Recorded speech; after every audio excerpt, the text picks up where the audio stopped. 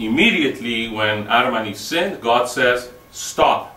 You will no longer be able to rule this earth. The earth will rule on you now. You will be a slave to your environment. You will be a slave to the nature. You will have to work like very hard in order to gain anything from this earth. You have no more control. The environment will have full control over you. Is man in charge of the environment? No. The environment controls man. And therefore, man can no longer rule. He kicked them out of the Garden of Eden.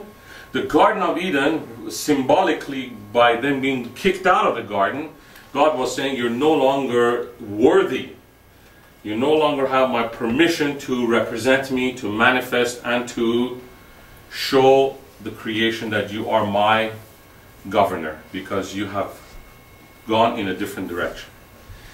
So man immediately lost the kingly ability. No longer man was in uh, control and was not representing God. The second thing that they lost is the priestly ability. They were no longer able to please God. How do we know that? Where is the verse for that? Well, if you read chapter 4, now we're moving into chapter 4. In chapter 4, Adam and Eve already are kicked out of the garden. So the kingly ability is gone. No longer they can rule. In chapter 4, you see the story of Cain and Abel. And the story of Cain and Abel is a very interesting story. It's not just there for two brothers who fight with each other.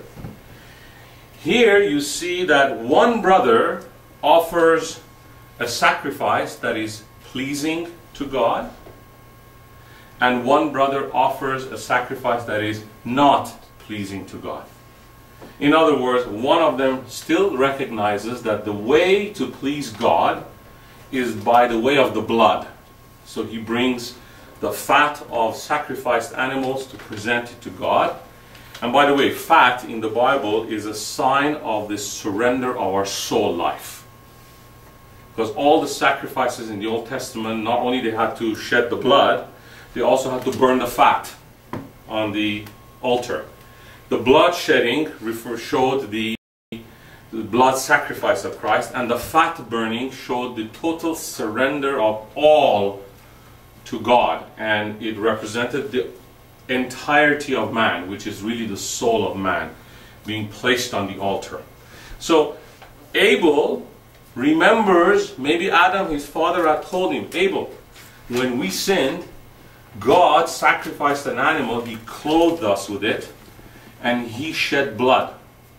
That's the only way God and us we can have any relationship. So as these two sons grew, Abel went back and offered a sacrifice of blood and fat. God said, I am pleased with you. You still are trying to please my heart. I accept that from you. What did Cain do? Cain went and he did agriculture. He planted seeds. He made a big harvest.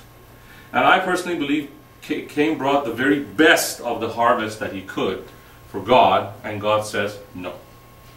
I will not accept that offering from you. Why? Because in chapter 3, just one chapter before that, God cursed the earth. He said, This earth is cursed. And if you look at the verse, he, he showed, he is, the verse is, uh, the verse 17 says, Adam said, Be, uh, Because of you, because you have listened to the voice of your wife, you have eaten of the tree I have commanded you, you shall not eat. Cursed is the ground because of you. So Cain is trying to produce something good out of something that is cursed. And God categorically rejects it. Here we come to a very interesting fork in the path of human history. Two ways are open for us the way of Abel, the way of Cain. All the religions in the world, all the philosophies in the world, all the human psychology, all the human efforts, morality, and everything else that you can, can in your mind think is the way of Cain. Because man is trying to use his own abilities in his own way, in his own thinking to please God at best. And God says, no. Because there is absolutely no element of blood in it. It's a bloodless sacrifice. It's a bloodless religion. It's a bloodless psychology. It's a bloodless morality. And God says, no.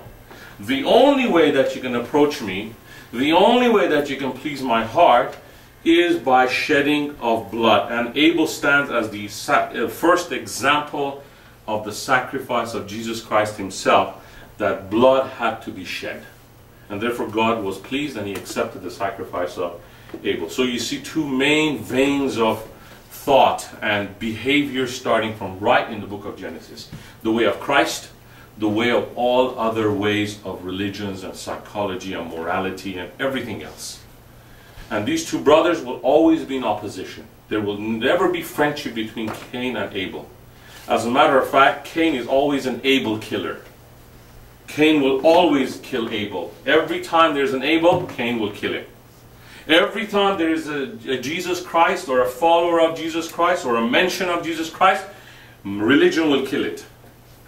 Other philosophers will kill it because there is a hatred deep in the heart of Cain for Abel. Why? Because God was not pleased with the way Cain was trying to approach. And who is behind Cain?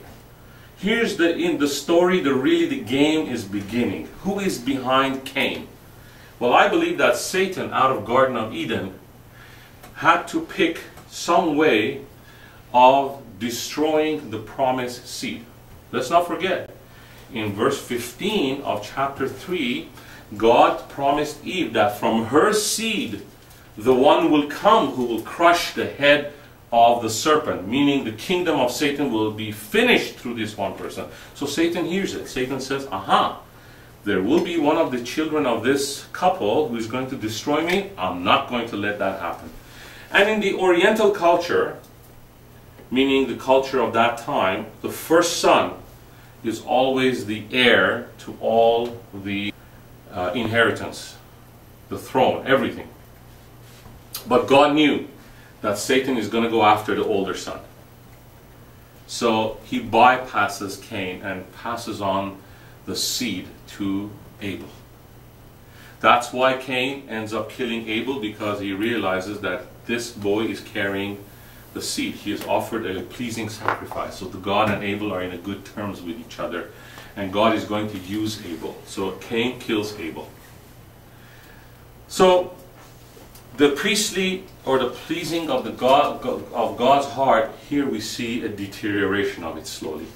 Only one son pleases, the other one doesn't. And as you read through the book of Genesis, slowly the people lose the ability to please God.